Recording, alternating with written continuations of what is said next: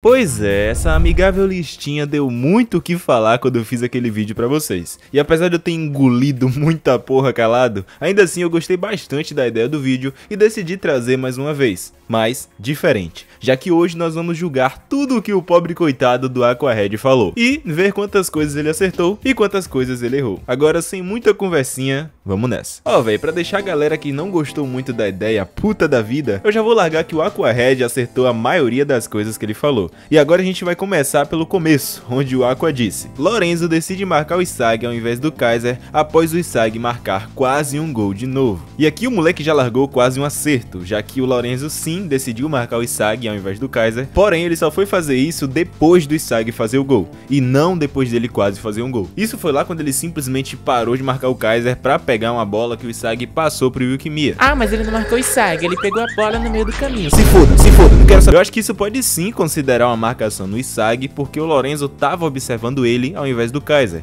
e pelo visto, a única coisa que ele poderia fazer ali era pegar a bola no meio do caminho, já que o Aiko já estava marcando ele. Mas se isso aqui não contar para vocês, é só pegar outra parte que o Lorenzo marca o Isag no meio do jogo, já que ele parou de marcar o Kaiser durante alguns momentos, justamente por dar mais valor ao Isag a partir desse quase roubo de bola aí. E agora vamos para a segunda coisa que o Cabinha falou. Ness fica com ciúme e rouba a bola de Isag, machucando o Isag de propósito e sendo trocado pelo Hiyori. Pronto, já pode comer o cu do cara de tanto xingar e se quiser já come o meu também. É, vamos tentar dar uma colher de chá pro mano, né guys? Ele pelo menos acertou que o Hiyori ia entrar. Agora ele errou feíssimo na parte do Ness ficar com tantos ciúmes a ponto de machucar o Isag. Talvez ele tenha aquelas namoradas fenas maluca. Kaiser fica puto por conta do Ness ter saído e tira os seus poderes de New Gen, solando toda a defesa dos Ubers e fazendo um gol. Tá, vamos ignorar a parte em que ele acha que Blue Lock é Jujutsu Kaisen e vamos focar no Kaiser solando toda a defesa dos Ubers, que foi algo que realmente aconteceu.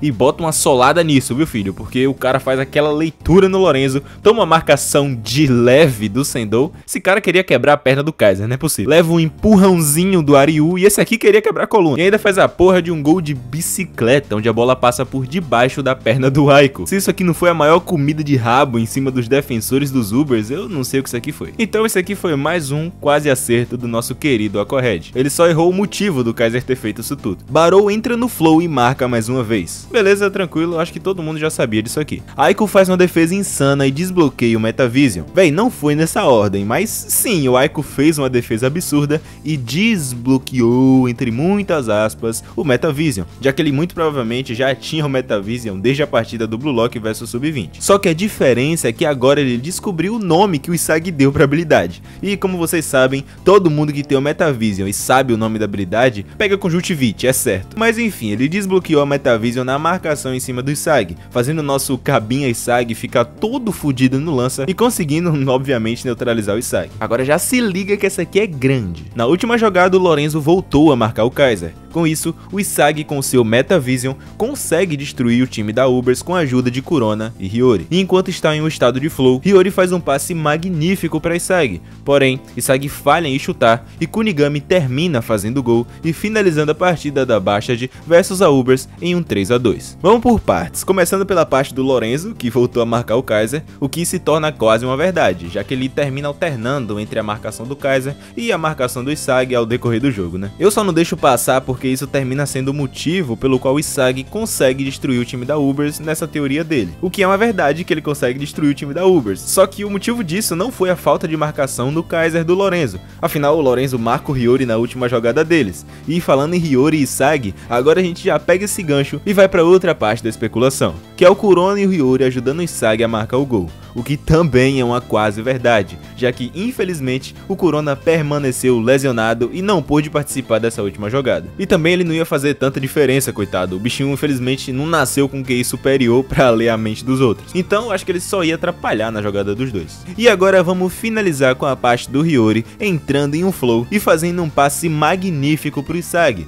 mas falhando e com o Kunigami finalizando a partida. E foi mentira isso aqui, né? Ele chegou perto quando disse que o Hiyori entrou no flow, que é o que parece ter sido, né? Já que o Hiyori entrou em uma espécie de flow e conseguiu compartilhar a mesma visão de jogo que o Isagi. E que, pelo amor de Deus, né, guys? Essa porra não vai acontecer toda hora. Então é muito provavelmente foi um flow. Mas apesar de ter acertado o passe absurdo do Hiyori e a entrada dele no flow, ele infelizmente errou quando disse que o Isagi iria falhar e o Kunigami iria completar na gasosa. Talvez ele pensou nisso como uma forma de fazer o Kunigami voltar pro hype, e também pro cara se preparar para enfrentar o Shido, e com isso conseguir um pouco mais de holofote, né? Mas o Aquahead de 9 meses atrás não fazia ideia do quanto Kaneshiro queria que o Kunigami se fuder, então isso não aconteceu, apesar de que eu preferiria muito que fosse algo desse estilo. Dito isso, mais uma quase verdade, já que ele acertou a parte do Hiyori, mas errou a parte final. Basta Diamante não joga nas próximas semanas e o Isagi vê o PXG destruir completamente completamente a baixa e a mancha City. Certeiro, filho. Isso aqui nosso queridão acertou. E você até pode me dizer, ah, mas a baixa não foi destruída porque ela conseguiu fazer dois gols. Mas aí eu já crio outra sementinha de dúvida na sua cabeça. Será que quando o Lavinho entrou na partida, o Loki entrou junto? Porque tudo bem o Lavinho ter feito dois gols,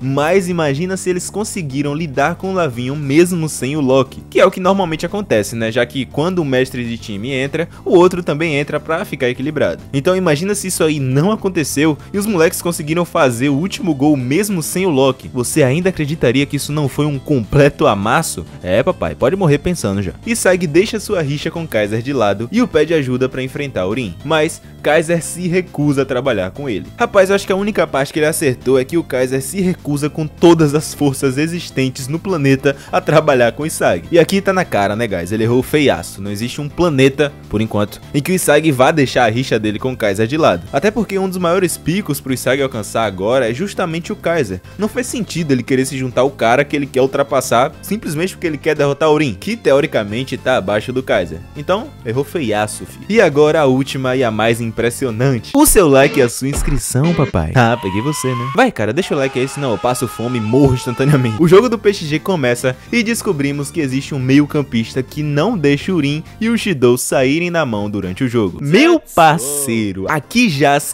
Kaneshiro usando o Reddit para espalhar suas ideias. Irmão, que tiro categórico. Beleza que não foi no começo do jogo da PXG vs Abashad, mas o cara acertou perfeitamente que iria ter um meio campista que segurasse os dois ou arranjasse uma forma de prevenir ambos de saírem da mão. Que é o que a gente vai ver acontecendo muito provavelmente no próximo capítulo. Já que Urin e o Shidou vão jogar juntos e o Charles vai ser o responsável por impedir que os dois fiquem se bicando no meio do jogo.